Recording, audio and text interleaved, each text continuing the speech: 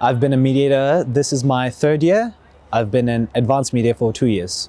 So with uh, mediation, when we first get um, inducted into the course, um, it's pretty much that we're taught conflict resolution. Uh, with advanced mediation, we get advanced training from organizations outside. Um, we've had organizations such as Peace Foundation and Youth Law come in.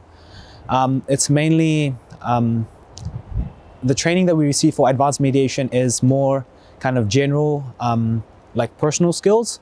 It teaches us about equality, social empowerment, and um, it just helps us to realize our own prejudices. Um, the role itself is not too different, it's just that we've received more training, so it helps us to understand conflict and resolve conflict better. I think that it's a very important kind of um, student-led role that we have in our school.